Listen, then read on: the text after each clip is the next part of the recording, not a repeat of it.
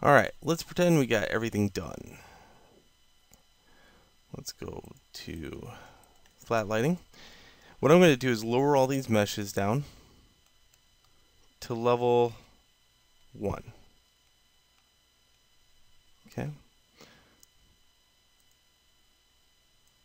Except for the handle. I would say the handle, it could be lower, it could be level 0.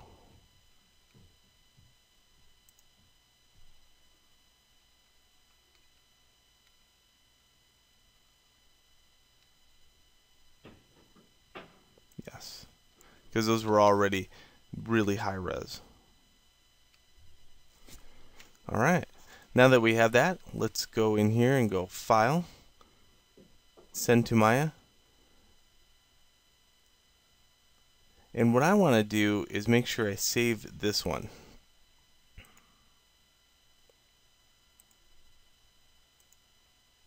Okay. Then I'll go back to this one and say send to Maya send selected to new scene.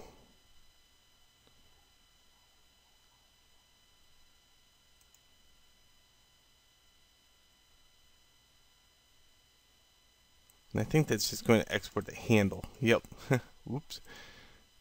So in here, go to select objects, hold shift,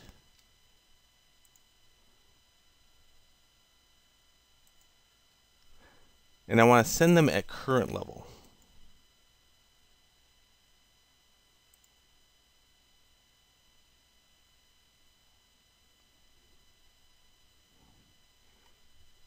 Hit 6 and then go to rendering, go to high quality rendering, and there's your beautiful jug. So big, so beautiful. Alright. And it would have been even more beautiful if I would have uh, made it all like this. See right here? Compared to there. So, got some work to do. Now, this thing, it might be higher poly than what it needs to be. So, your job now is to double click these edges, getting edge rings or edge loops, control right click to edge loop to edge loop and delete. So this is a great way to lower the polygon count on an object and get it ready for production.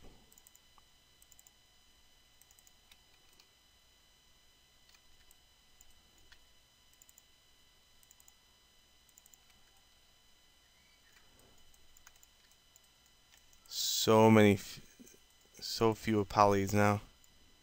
Now, I would stay away from maybe this curve right here. I, you know, that's something that might be able to stay. Same with that. You know, I, I'm not confused. This thing is only like 1,248 tris, which is awesome.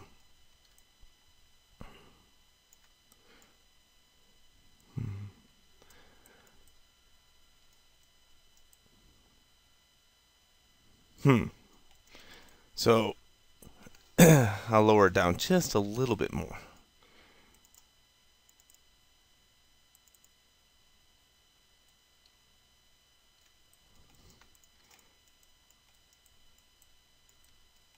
The bottom, I definitely do not need these.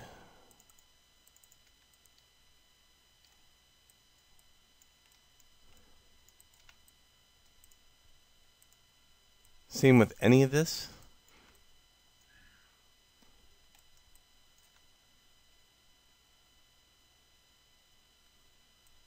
In fact, now that I have everything down pat, I might want to go and just take these edges, control right click, to edge ring, to edge ring, to faces, to faces, and just kind of push those up a little bit. Give it some contrast.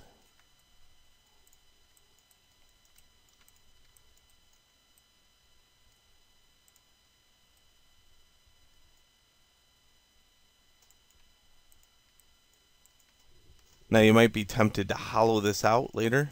That'd be fine.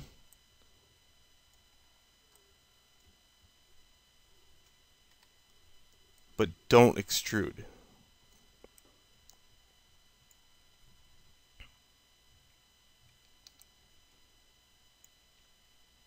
Okay, six on the keyboard. For me, I'm just going to give it that fake look. So just a little bit of contrast in between there. That way, if I ever have the lid just tipped a little bit to the side, it gives that darker look there.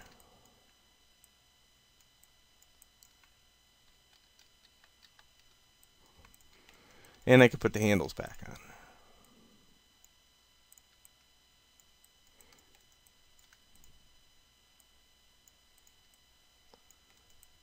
Alright, so there we go. Our finished product. So I hope you enjoyed the whole workflow series about, let's say, just adding detail to a mesh and making textures for an, a mesh based upon textures themselves, not really sculpting.